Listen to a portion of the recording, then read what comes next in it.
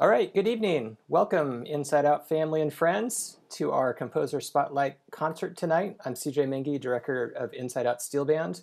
Uh, most of you all, I think we know each other, but if you're new to Inside Out Steel Band, uh, we are a 501c3 nonprofit in Austin, Texas, and uh, we've been around for about 20 years. Uh, been a federal nonprofit since 2013, and our mission is very simple is to build community through music. And this is another way that we get to um, share music with our friends and introduce you to new things that you can do with steel pan and new composers and performers and all of that. So once again, thanks so much for being here. Um, this has been a really fun series to start to put together that's really been spearheaded by Louis Raymond Kolker. This is our third installment of the um, the concert series, and tonight we get to feature the music of Alexis Lamb, who's joining us from Connecticut. Um, just quick background about Alexis. She um, is an excellent percussionist and composer, performer, educator. She does all things related to uh, music education, performance, and outreach. And uh, she just recently completed her master's degree in music composition from Yale. Congratulations on that, Alexis. And also has degrees from Northern Illinois University. Um, and just a quick note for our friends that are joining us on Zoom tonight. We are live streaming to YouTube that will archive. And as much as we love seeing your smiling faces, if you wouldn't mind having your video turned off, I'm sorry, Virginia. We'll make it up to you, I promise. Um, that way, when we archive it, we'll have the faces of the composer and the performer. So uh, that's my quick little spiel at the beginning. We have three pieces on the concert tonight. Alexis will talk about each of the pieces just prior to the performance. And then remember to please stick around for the Q&A afterwards. Um, you can put comments or questions in the chat on Zoom. Uh, we also are streaming to YouTube tonight, so welcome if you're joining us from YouTube. Feel free to use the chat for comments and questions there, and we'll keep our eye on both of those places. So once again, please help me to welcome Alexis C. Lamb to our concert. Welcome, Alexis. Thank you so much for having me. And I'm really delighted to be here and contribute to the community building that Inside Out is doing. That's that's a really important part of the music making process for me. So I'm always happy to be a part of it. Uh, so the first piece that we're going to have for you is actually a, a fairly new piece. It was written um, in the spring of this past year, just prior to COVID 19 hitting the United States. And it was composed for my dear friend Louis Raymond Kolker. Um, he was asking for a piece that would, you know, just embody the uh, virtuosity of the steel pans in a solo form. And I really uh, was inspired by the recent pieces that I had seen and, and the pieces over the past couple of years that I had seen from Liam Teague in particular, where he was combining different sets of pans. So this combines the double second steel pans with the tenor pan. Um, it's entitled Internal Dialogue, which I will. Uh, without sharing too much, I will let each of you decide what your internal dialogue is with this regards to this piece. But what I was exploring technically uh, was the symmetry between two different chords that exist within our um, 12 note Western system, which is the augmented triad, which is a, a, symmetrical major triad plus major triad, and then the diminished seventh chord, which is a symmetrical minor seven plus my or excuse me minor third plus minor third plus minor third plus minor third. And so these two chords are the most symmetrical that exist within our our western um, tonal system. And so i was playing around with what happens when you actually splice the two of them together. What happens when you have one note in common and then you get this augmentation here and then this diminished material here and how can those play forward and, and what sort of pitch collections can we um, can we create? So thank you so much to inside out for having me tonight. Thank you to Louis for what I'm sure will be an excellent performance. And I'll turn it over to you.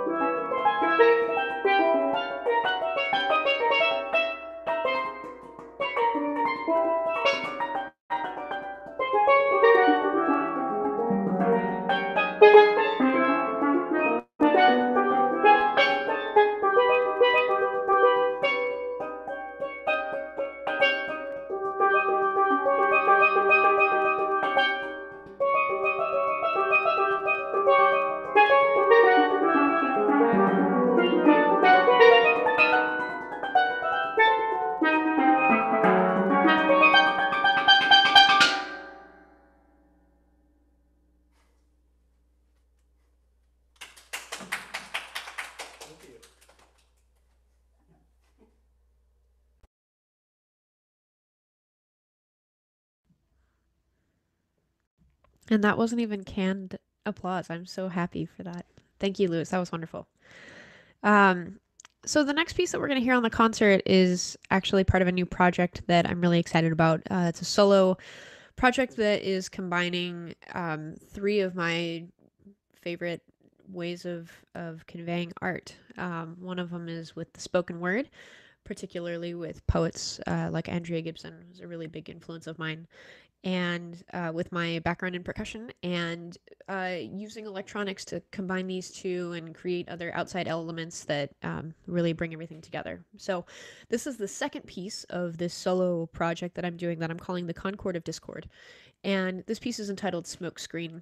Um, you know, we are all going through so many things in the world right now, and there's so much um, uncertainty and destruction and concern for others and concern for ourselves that's going on. And I think that this piece is really, um, for me, it's a call to authenticity. And it's really a hope that in the world's um, moving forward, when we come back together, that we can all um, come together with a sense of authenticity and with a sense of genuine want to to gather together and to be our true selves. So I hope that you enjoy this next piece. It's entitled Smoke Screen for the solo project The Concord of Discord.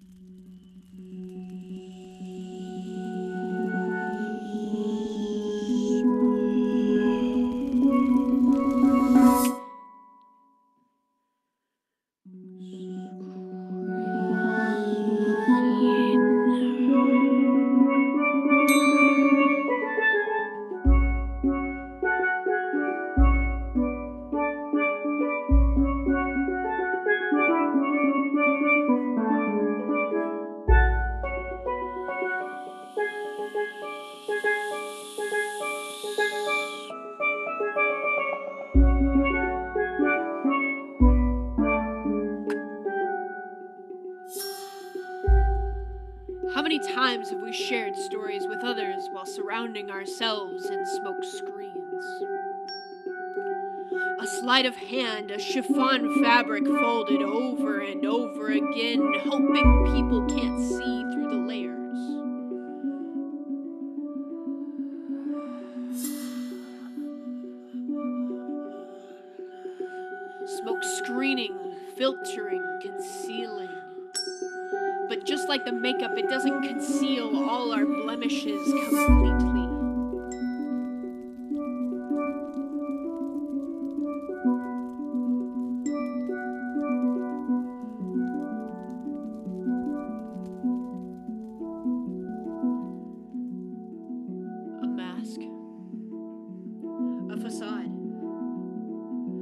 Sheltering the self.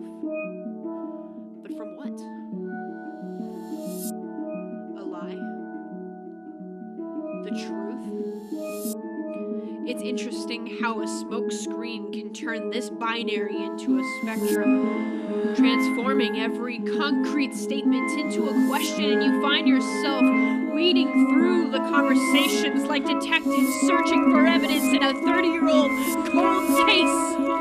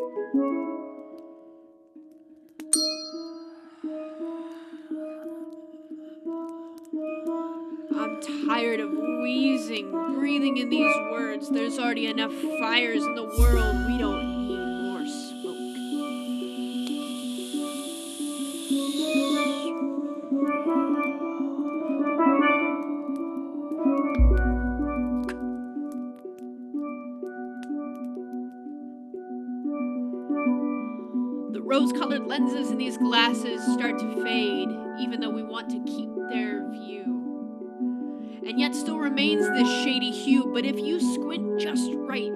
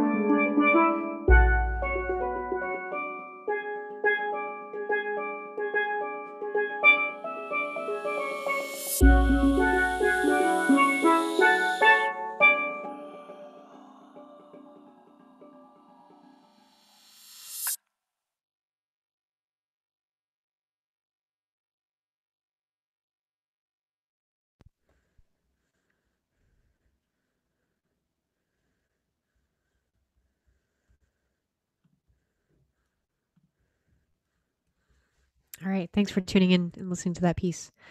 Um, the last piece that's going to be on our program tonight is one that's very near and dear to my heart. Um, when I was, I, I did my undergraduate work at Northern Illinois University in DeKalb, Illinois, and it's actually one of the universities that had um, one of the first steel pan programs in the country, and I believe is still the only uh, um, university in the United States where you can receive a master's degree in steel pan performance. And I was really, really lucky to be able to study with um, both Liam Teague and the late Dr. Clifford Alexis, um, who actually Cliff was the uh, the gentleman who built the pans that I was playing on in that piece and that are sitting right behind me. Um, so I'm I'm really grateful for those gorgeous instruments. Um, I think what I learned from them the most was just how incredibly versatile this instrument is in the same way that we think of the versatility or the virtuosity of a violin or um, any you know percussion instrument or a clarinet or what have you. The steel pan is um, it can do all of that and more. And i really appreciate and honor and respect everything that liam and cliff taught me. Um, I also want to take this moment to, as Liam always does at the end of concerts, thank the people of Trinidad and Tobago for giving us these beautiful instruments and so that we can enjoy and, and celebrate them and um, share them with our communities. Um, so this piece is entitled Spectrum. It was dedicated to Liam and Cliff. Um, and on this video, I'm so happy. It just makes me smile all over with um, all the performers that are on this this video. Dear friends of mine from university of nebraska and beyond uh, so thank you again to Louis for organizing the video performance of this and i hope you enjoy this new video premiere of spectrum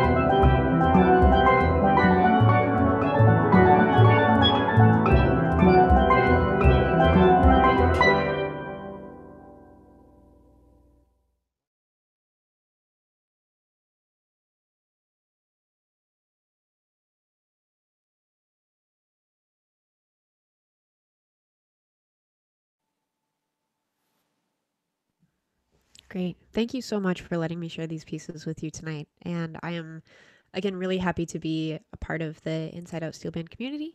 And um, yeah, thank you for all of the the performers on the pieces as well. I'm I'm so excited to see so many familiar faces. Wow, that was outstanding. Thank you, Alexis, for creating such wonderful music, um, like such depth in so many different directions. That last piece was really beautiful orchestration and composition. Uh, Smokescreen is a very powerful, impactful piece. Um, like you have so much to offer, and thank you for sharing it with us tonight. Um, Louis, congrats on the performance. Wonderful job as always. Those of you who are part of Inside Out know how amazing Louis is, and we're lucky to have him to be a part of the Inside Out family. So keep it up. Uh, so we're going to go ahead and move into our Q&A now. Um, let me get this up. This should be the three of us. Um, and Zoom folks, thanks for being so compliant and keeping your video off so we can grab the archive of us uh, for this conversation here.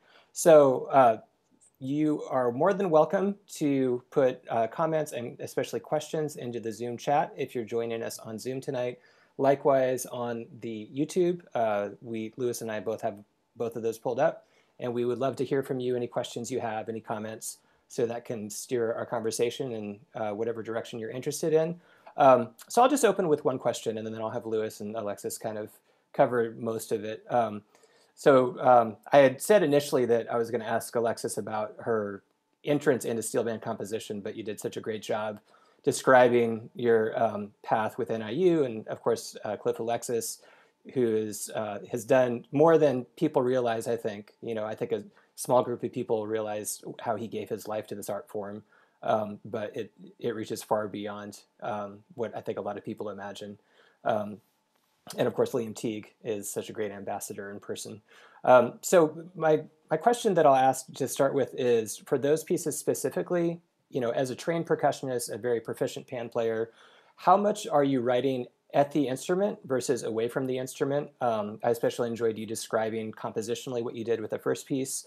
Um, how much time do you spend on the instrument, um, both in the composition process and then as you're workshopping something and making changes and edits?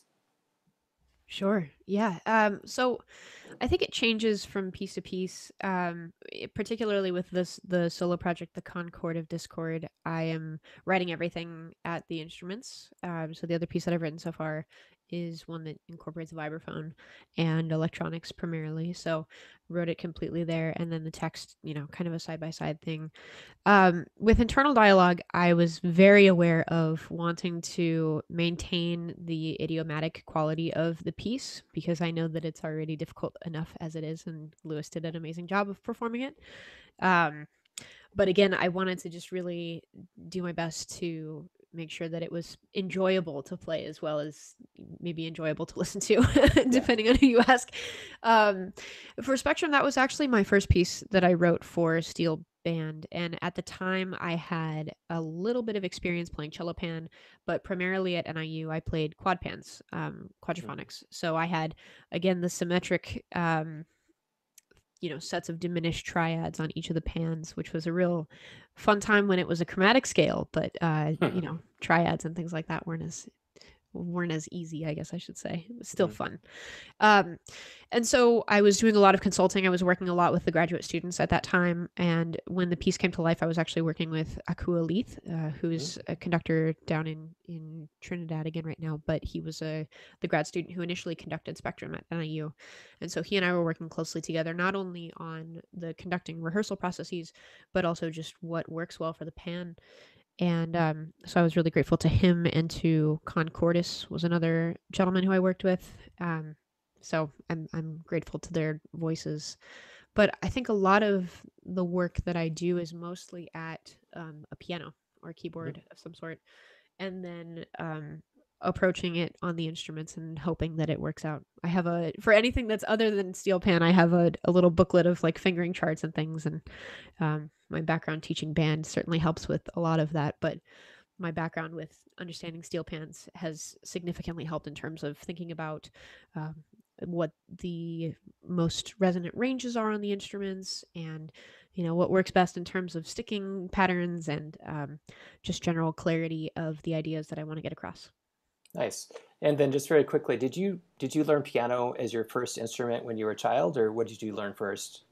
I will never admit that I know piano. I just use Okay, it. okay. um, I my first instrument was actually guitar when I was uh, Yeah. five, and then Yeah. I um, picked up bass my freshman year of high school, and then I picked up percussion my sophomore year of high school, and I was primarily a mallet percussionist. Um, so that's I guess the correlation to piano. But uh, aside from lessons in college on piano, I have I will never play it professionally. It's not something that I. It, it's something for my own personal enjoyment, Yeah. and of course, as a as a you know pedagogical tool for me as a teacher, as well as a compositional tool for me when I want to just ch- chalk things up a little bit. Yeah, makes perfect sense. It's so valuable for that composing and arranging. Um, Louis? Yeah, I, I did want to just like jump in on Spectrum. I have my score right here, and I've been spending a lot of time.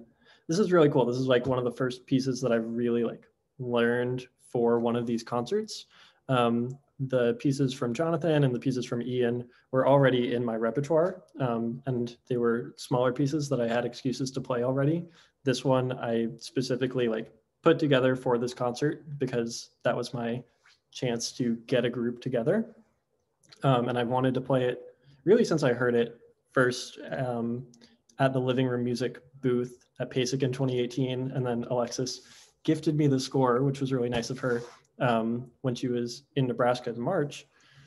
But just like looking at the ranges that she uses within all the pans, like the tenor pan players are all over the map, and especially like in the very, very high ranges, which is something that's so uncommon in steel band writing, like using those extreme high C sharp, high E's, which are the same ones um, that Alexis uses at the end of internal dialogue. And I just really love like getting to use the entire instrument. Um, and it's effective and she scores it so it works. So like, like you were saying about using the ranges of the instrument, like resonant ranges and having just such a good idiomatic sense of the instrument. Like I really appreciated that going into this piece and not just using the same like one octave that most steel band pieces use for tenor pan. Yeah, thank you for that. I um again I recognize that the higher register is is really for me and especially in spectrum is, really more of a color element. Mhm. It's it's sort of like when you have a a symphony piece and the upper violins are just in the stratosphere, but they're being reinforced with the exact same melody an octave or two down in the violas and cellos, and so that you get this extra um, resonance. It's almost as if you can um, can like voluntarily map out the harmonic series right in front of you so you have that octave spread that's happening and then from there you get the natural harmonic series that comes out of the instruments themselves so Mhm. i'm i'm grateful that it works for everybody Yeah. Um, so we do have a question on the YouTube comments. Uh, this is from a friend of the program, Alex Richard. Um, and Alex asked, is the spoken word of Smokescreen original from a specific text and or inspired by other poets? yeah it's original um so all of the pieces for the concord of discord project are original texts which is actually something else that i'm um really wanting to explore more of and i i'm thinking of it again from the percussionist standpoint particularly of rhythm and of allowing certain rhyme schemes when they do happen to not always occur at the end of a line for example. So having a little bit of patterning that that comes throughout the piece um, or throughout the different phrases and and sections.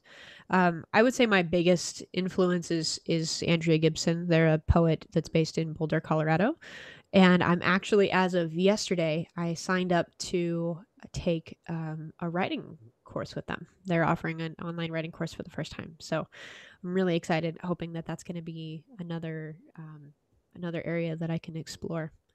Yeah.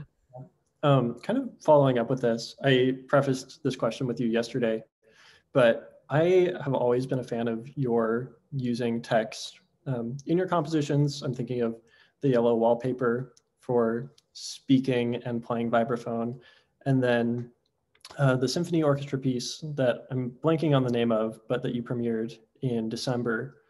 Um, will you talk about just like how you got into the speaking and playing vibe of writing? Because I feel like that's not especially common. Yeah, sure. The orchestra piece was called She Was There Too.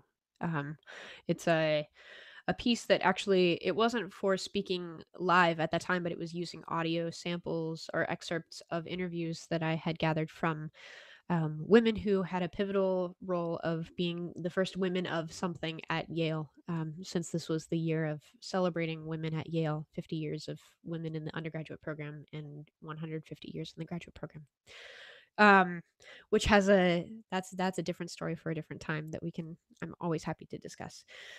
Um, in terms of the speaking things, I you know, I actually am coming to terms with this a little bit myself as well and realizing that I really do love using my voice. Um, I don't think that I'm a singer. I can I can sing, uh, not well to my standards. It's not something that I feel like I want to share as a color in a lot of my pieces. With that being said, I actually wrote a song last week that I was singing in, and I wanted to hear my voice to sing it, which I was like, wow, this is so interesting. Um, but I do feel like I, especially being a percussionist, um, especially being a percussionist who's constantly reminding myself and learning to breathe while I play, um, the spoken word allows me to convey those thoughts and convey the text in a similar way as singing without losing my voice as the element of being able to perform it. And I feel like there's, I, I'm also just really fascinated with this um, genre of storytelling that, you know, there's so many art forms, especially within our music world, that are passed down by rote. And, you know, in our Western world, we don't often see those come about, with the exception of when we do study um, music from other parts of the world. But it's something that you know, we all remember stories from our childhood of grandparents telling us something or our parents telling us something or a, another family member or or there's some sort of rote learning that was happening where people were passing down things that they wanted you to remember. And the idea of anybody's voice being able to convey um, something that they want to tell you that's important to them, I think is a really powerful thing for me right now. And so it's something that I'm hoping to um, continue to pursue with this solo project as well as hopefully with a um, any sort of formal dissertation work that I hope to be doing in the next couple of years for a for a doctoral degree. Awesome. So, uh, question related to the the project that you're working on right now is that an in in your conception is that an open-ended project in terms of the number of movements you'd like to add to it, or do you have um, kind of a specific vision mapped out with that? Yeah, I think it's I really want it to be kind of like an alter ego to my um, concert composer world. So I have really dear friends of mine um, two of them who come to mind. Well, one of them in particular, um, Gabrielle Herbst, is an excellent composer based in in the New York, Massachusetts, New Haven area, depending on where she's at for the pandemic. And um, she has a side project, solo project that she calls Gabi, and it's her singer songwriter project, and it's just this gorgeous music. Um, totally, not well, not totally different sound world, but you can tell that the two borrow from each other and that was something and and i have a, a, handful of other friends who have started doing that for themselves and so it almost feels like i can give myself um, a reason to want to play music that might soothe me in that moment but mm. might not be what i want to give to others and so this music is music that i plan to have for myself it's not really music that i care to have others play um, mm. but i will reserve that for the pieces that I choose to share with others. So I think that this is just my own way of getting out some of the ideas in my head. But actually, um, I'm going to pull up a little thing here. Uh, when I was thinking about what I want the project to be, it's really thinking about um, sort of everyday objects or activities or events or, you know, things like um, when I was uh, driving across the country this past year and I was going back home to Colorado.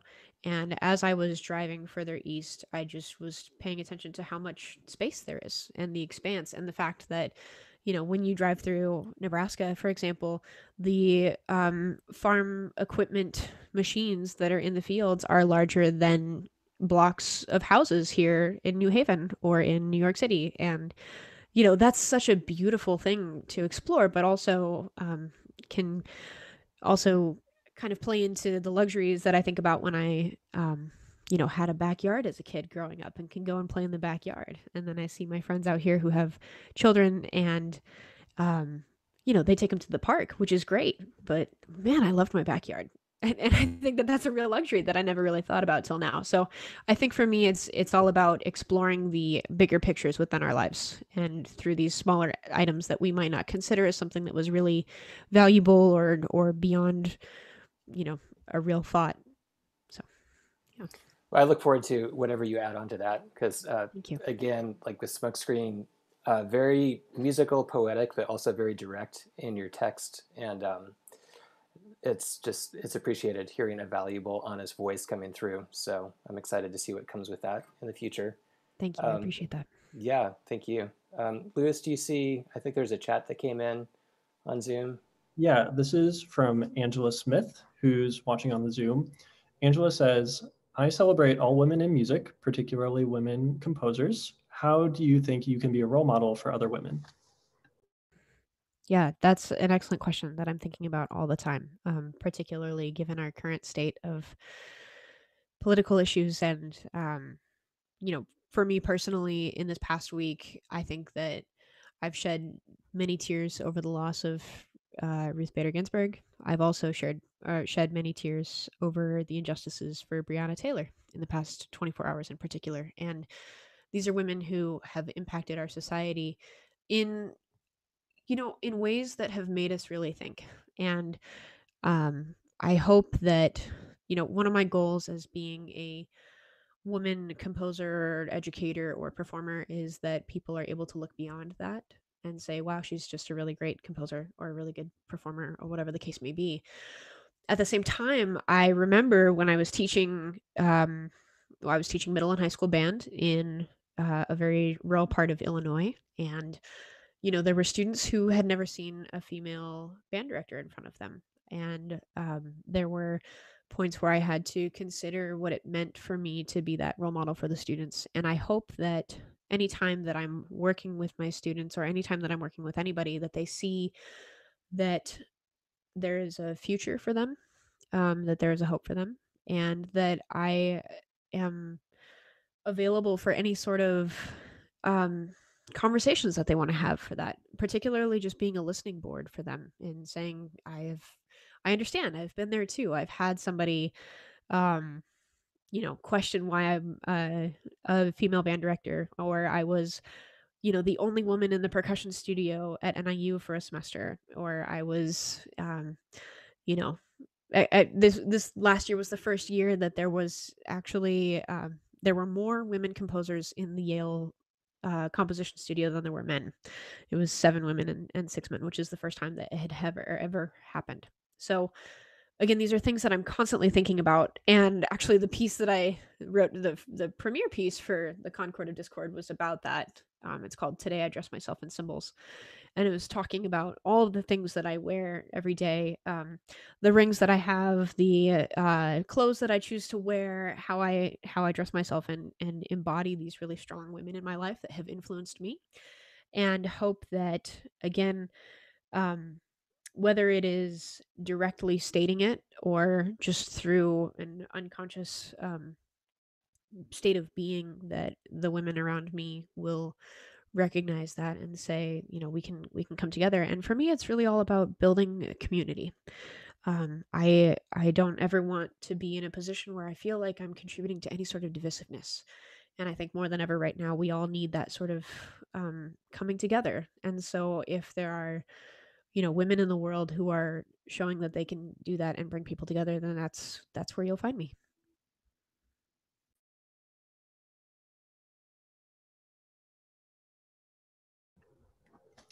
Yeah, I every time you answer one of these questions, or just like every time I talk to you, I feel like I learn something or gain some insight. Um, it's just really nice to hear you speak. I don't have any response or anything to add on beyond that. Just like, well, thank you. Yeah. yeah, I really appreciate that. And it's been, you know, just a, a backstory for um, anybody who's watching, Louis and I have been good friends for a couple of years, but um, you know, we've we've kind of passed uh, pieces back and forth between each other, or like videos back and forth of um, materials that we're working on or that we're sharing with others, and um, you know, I'm just very grateful for for his friendship and for having him as a colleague, um, particularly in the percussion world. So, just a shout out to you, Louis, for all the work that you're doing. Thanks.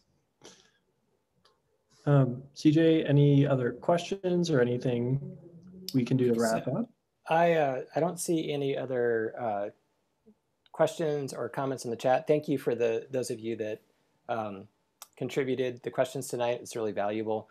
Um, I do have one other question that I I prepped Alexis on about, and I promised I would do this at the end because I wanted to make sure that we're giving proper professional credit for the amazing things that Alexis is doing.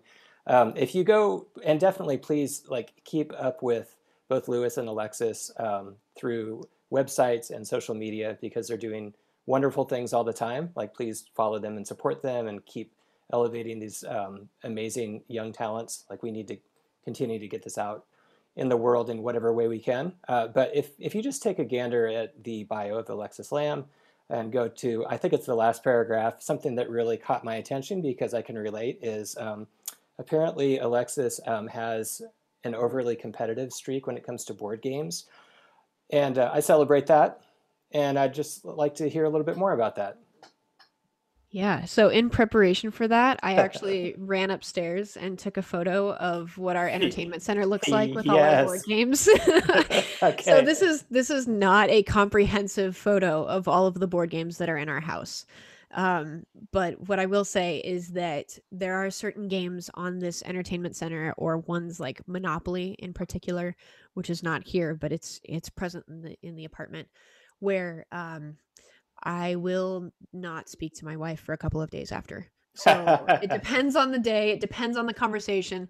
We've been playing a lot of collaborative games, so Pandemic has been one not only because of the, you know, situation that we're in, um the, it's it's sheer irony but it's also just a really good board game and it's where everybody wins or everybody loses so it's again um there have been less fights about that which while we're in quarantine is probably a good thing that's yeah. awesome alexis and cj can i get both of y'all's like most competitive board game I, I think for me and my siblings it's definitely scrabble like we will we'll go all out. It's like playing chess. How long will take to take turns? Yeah. Uh, well, as a child, I was pretty ruthless with Monopoly. I'm not sure if my sister tuned in tonight, but I apologize, Beth Ann. If if you're watching, I apologize. Um, and then my wife just talks about how we, we play a lot of Farkle these days, which is a dice game. Um, we have Loon Farkles. Uh, again, thanks to my sister. She lives in Minnesota, so we have the Loon in place of the one. And we play a lot of uh, Five Crowns. And um, the characteristic that my wife points out is uh, when it's on, it's on, and if I feel like I've lost a little too much, then I'll turn it on. Um, I can't help myself. I'm sorry. Yeah. Alexis? Five Crowns is on my is on my list of games. My brother's friend introduced me to that this summer, and I'm just all about it. Um, yeah, I would say Monopoly with my is is like one of my fiercest. Um, I get really competitive at cribbage though. That was a, a family game that we got really competitive at. Same. And then um Catan is always kind of a dangerous game for us here in the family. So um we play it eh, when we have room to go somewhere else afterwards, which is not right now. We haven't played it in a long time. it's, it's packed up for the time being. It is, yeah. It hasn't been played since like last year, I'm pretty sure. But it'll make a return. It will. Yes. Yeah. Wonderful. Well, I appreciate you humoring me on that. Um, anything else, Louis? Um, no, thank you, Alexis, for the incredible music, and yes, um, thank you for the premiere of Smokescreen. That was yeah, know, that was amazing. Um, for people watching, Alexis made that created like created the piece, created the video just for this concert, um, and so really glad that we were the ones who got to share that. Yeah, thank you for giving me the opportunity to write another piece for Concord. I'm super excited about that. So, and again, thank you so much for having me on for this evening and um, allowing me to be a part of the the Inside Out Steel Band community. Yeah, you're in the family. Yeah. we, we did get one other question that came in um, Sure. on YouTube from Olivia Bolt. Uh, will the music for Smokescreen be available for purchase anytime soon? With Oh, hi Olivia. um, this is going to be one of the pieces actually that I'm saving for for myself to play. Um, I'm hoping to have other pieces similar to it that'll be, you know, within the speaking and percussion realms in the future. Um, but I think that this is going to be for for the solo project alone. Yeah. But I hope to do more. You know, when things start opening up, um, the goal for me is to get enough of this repertoire together so that I can put all these instruments in my car and um, travel around and play in particularly in places that are non-traditional concert hall spaces hoping to play in you know just outdoor gardens or yards or um, libraries or places that it can be really accessible to a, a number of people who might feel like the concert hall space isn't um, always welcome to them so that's the goal we'll see Wonderful. Thanks for the question, Olivia. Yeah. Um, yeah, again, congrats uh, to both of you. Thank you for your contributions. Um, and I don't know if I gave a shout out to all the performers on the video from Nebraska Lincoln, and of course, our great friend Lauren Molloy, who contributed the tenor pan part. We love you, Lauren. Thanks for contributing that. Um, and thank you to all of you for tuning in once again. Uh, just keep up with this on our website. You can subscribe to our newsletter for upcoming performances. Uh, we will have another composer spotlight probably Louis and I just spoke about this probably four to six weeks from now. So just keep your eye on that. And we'll have other Inside Out Community Steel Band content coming up as well. Um, and once again, as always, uh, you are welcome to join us in the Community Steel Band from wherever you are. One advantage to being online right now is our Tuesday night Community Steel Band classes are accessible to everybody um, across the country. We even have someone outside of the country that's joining us right now, so you can find that information online. Um, so we appreciate all of you. Please stay safe and be kind to one another. And we look forward to seeing you again the next time. Good night. Thank you. thank you all so much take care